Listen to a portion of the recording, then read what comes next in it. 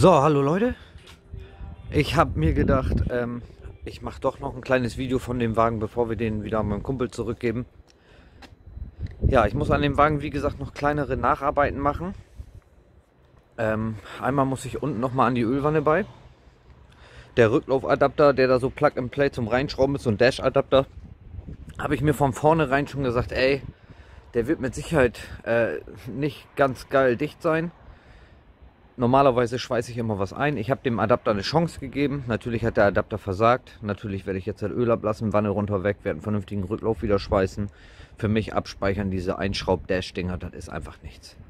Ne, das löst sich von selber und das ist auch wenn da Dichtringe zwischen ist. Also ich halte da nichts von. Oldschool wieder einschweißen, fertig. Ja, des Weiteren äh, hatte er hier den Motor, ich weiß ja nicht, ob ihr euch so erinnert, mit, mit Hammerschlaglack und was weiß ich nicht, hat der es alles lackiert. Und der hat hier eine Einspritzleiste drauf gehabt. Seht ihr das? Die hat hier eine Delle. Da ist die voll reingebogen. Der Benzindruckregler, der da, der da dran ist, der, den haben sie schon richtig mit der Zange misshandelt.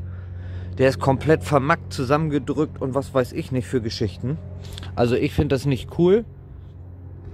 Die Einspritzleiste, ihr könnt ja noch sehen, das Blau war die vorher und die ist so dick bemalert und überall hat die Macken und ist überall so schief drinne. Wie gesagt, die war hier unten auch schon undicht. Ist der ganze Sprit die ganze Zeit auf die Ansaugbrücke hier getropft. Natürlich nicht während der Fahrt, ne? Hier so während des Testens. Hat den ganzen, den ganzen Lack wieder aufgelöst. Das bedeutet für mich, einmal alle Stecker ab, Einspritzleiste raus, Einspritzleiste auch in eine Mülltonne, weil die leckt. Ich meine, jetzt mittlerweile ist die dicht, weil ich eine neue Dichtung drin habe. Ne? Aber trotzdem, für den Kopf kann ich das ihm nicht mitgeben. Habe ich keinen Bock drauf. Deswegen habe ich noch was ganz, ganz Seltenes. Und das werden wir Ihnen hier reinbauen. Ich weiß nicht, ob das jetzt in der Werkstatt liegt. Mein Aufkleber habe ich auch schon drauf gehauen. Die Ladeluftrohre hängen bei mir in der Werkstatt. Einfach aus dem Grund. Ich hatte mein Bulzgerät nicht hier. Und äh, jetzt habe ich das hier. Jetzt habe ich da Wulzen drauf gemacht. Jetzt mache ich das noch eben fertig. Also wirklich Fakt, was jetzt noch anliegt, ist Ladeluftverrohrung wieder reinbauen. Wie gesagt, der Ladeluftkühler soll tiefer, wie bei dem anderen auch, bis auf die letzte Kerbe. Das machen wir heute fertig dass der tief hängt. Ich habe da zwei neue Rohre bestellt, ne? dass der weiter runterkommt. Ja, dann äh, Einspritzleiste, das Ding wieder lackieren und mit dem Öl. Und wenn das fertig ist, dann äh, kann er den abholen. Kann er damit so nach Hause fahren. Wie gesagt, wir sind den ja schon auf Kurzzeitkennzeichen gefahren. Ohne Probleme. Ne, wie gesagt, immer so ein paar Kleinigkeiten liegen noch an. Von innen ist der soweit komplett fertig, da braucht er nichts machen. Der läuft, der schaltet, der springt sofort an. Der stand echt lange rum. Wir haben Batterie reingemacht und der ist sofort angesprungen. Ja, alles nochmal eben vernünftig zusammenbauen, ne? so wie sich das gehört. Und dann kann er den mitnehmen. Frontstoßstange habe ich ihn ja auch umgebaut und angepasst. Die andere ist weg.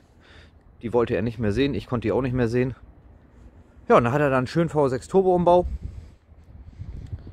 Und dann geht er damit schön zur ETP und lässt die Bude eintragen. Hundertprozentig. Mit hier alles mit Rückführung, nichts offen. Ne, so wie sich das gehört. 0,6 Bar. Also nicht wirklich viel Dampf. Ne, kann man aber natürlich umzwitschen. Ist natürlich klar. Ne? So wie es halt immer ist. Ja, Jungs, ich würde sagen, ich schnack nicht lange rum. Ich flex das da unten schon mal ab und wir fangen an, den Ladeluftkühler anzupassen. Einspritzleiste runter und so weiter und so fort. Also, Jungs, dranbleiben. Bis später. Ciao. So, hallo Leute, wir sind zurück. Heute sind die Teile für den Golf 3 hier gekommen. Also die beiden Rohre, ich habe die auch schon abgeschnitten und fertig gemacht. Ja, also das Ding hat noch eine originale VR6 Einspritzleiste gekriegt, eine nagelneue, die ich noch hatte. Ne, wie vorher gesagt, die Ansaugbrücke wieder schön schwarz gemacht. Jetzt kommen so die kleinen Dinger noch eben dran. Diese Ladeluftseite ist schon komplett fertig hier. Hatte ich auch schon zugesägt. Das alte Rohr liegt drinne. Jetzt haben wir das neuere, längere dran. Ne, da an dem Rohr muss ich gleich nochmal bei, Batterie raus.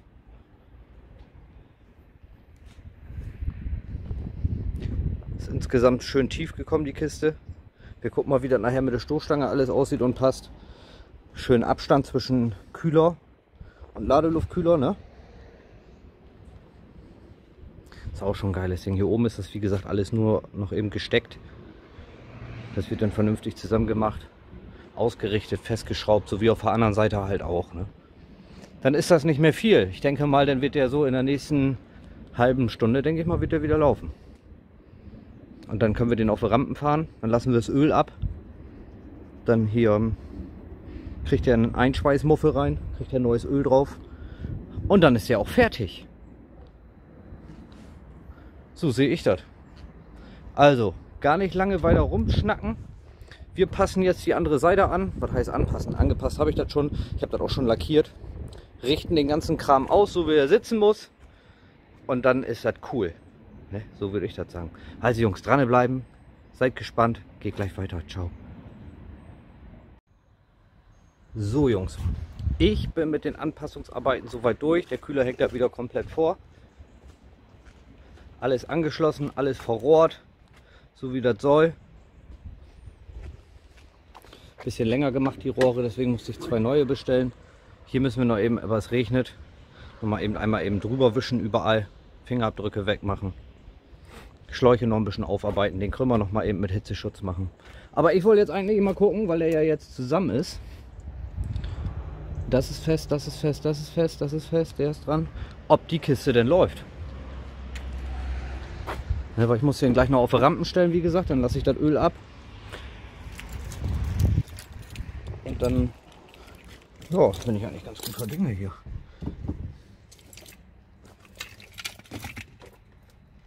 Lenkrad ist schon ein bisschen am Gammeln. Ne?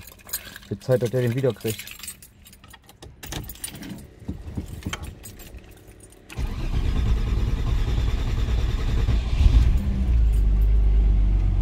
Aber der eine Einspritzleiste kein Benteng hatte. Oh ja, man hört richtig.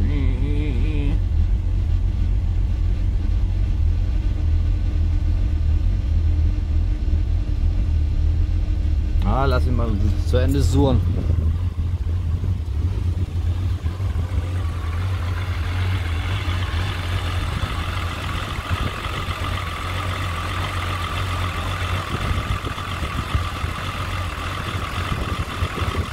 Oh, äh, äh, äh, äh, äh, äh, äh.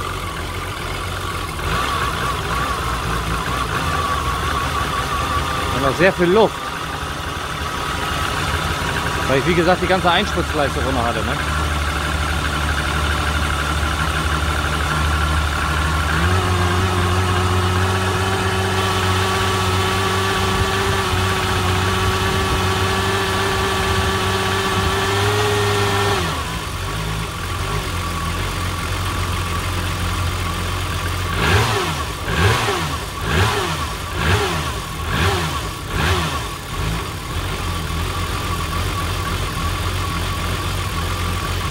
Ah, er kommt so langsam.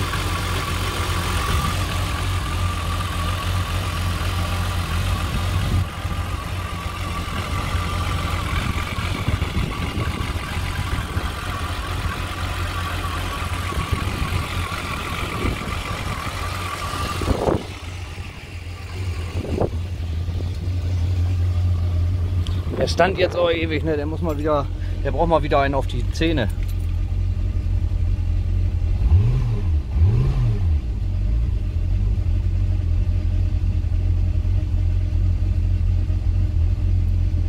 Ich werde den mal eben ein bisschen rödeln lassen, würde ich sagen.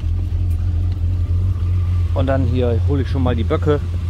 Können wir den da schon mal raufstellen. Und dann schauen wir gleich noch mal rein, wie er läuft, ob er sich gefangen hat. Aber ich glaube ja, er läuft ja jetzt schon wesentlich besser. Das ist der Rest, weil er nichts mehr an Sprit drin war. So, ich habe die Rampen davor positioniert. Motor hat sich auch gefangen. War aber normal, man, der steht ja hier auch nur mehr rum, als da da läuft. Ne?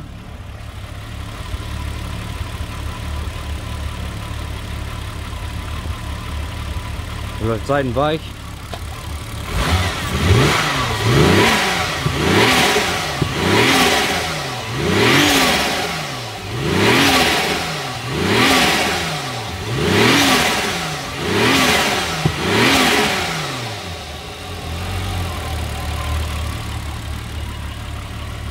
Ja Jungs, ich würde sagen, rauf auf die Böcke, Öl runter und dann ähm, Ölwanne weg, fertig machen, Stoßstange vor, empty, fertig.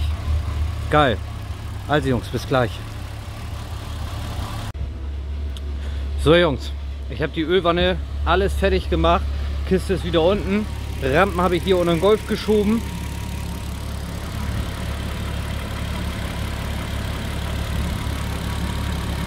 Jetzt ein bisschen los, äh, ein bisschen los, äh, ein bisschen nass, regnet wie Sau. Ich habe einen ganz nassen Arsch, weil ich unterm Auto saß. Wie gesagt, ich habe dann alles schick fertig gemacht mit der Rückführung. Jetzt ist das alles schön top.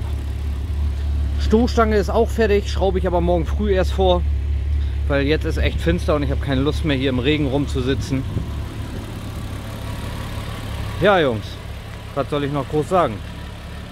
Ich würde sagen, das Projekt ist abgeschlossen, Stoßstange vor und äh, und Kühlergrill, das brauchen wir jetzt nicht noch zusammen machen.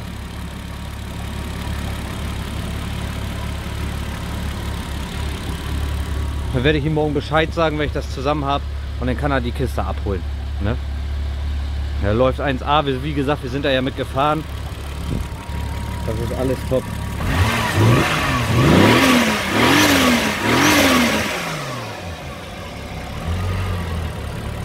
Fängt sein Leerlauf schön Ja Jungs, jetzt fängt sie wieder richtig an zu pinkeln. Ich muss jetzt auch rein. Ich muss mich fertig machen, weil ich bin echt nass bis auf die Unterbüchs. Wegen auf dem Fußboden legen hier und so. Ja, morgen Lenkrad mal sauber machen. Warum das als einziges so angeschimmelt ist, verstehe ich auch nicht. Naja, einmal schön mit warmem Wasser und mit einem Reiniger und dann ist das gut. So Jungs, ich mache jetzt Feierabend. Werde für euch das Video noch schneiden. Und dann habt ihr erstmal wieder was zu gucken, ne? Also Jungs, das war jetzt erstmal das allerletzte Video von der Kiste. Ich werde den zum Abholen freigeben. Denke ich mal morgen, sobald ich fertig bin, nochmal alles durchprüfen, nochmal saugen, nochmal überall lang wischen. Und dann werde ich ihn freigeben zur Abholung. Werde ich meinem Kumpel Bescheid sagen. Also Jungs, danke, dass ihr so zahl, äh, zahlreich an dem ganzen Projekt hier teilgenommen habt. Ne? Aber wir werden ja immer wieder Projekte durchballern. Ich bin mal gespannt, vielleicht schickt er mir mal ein paar Videos, wenn er damit am Ballern ist. Also Jungs, haut rein, habt euch lieb. Wir sehen uns. Ciao.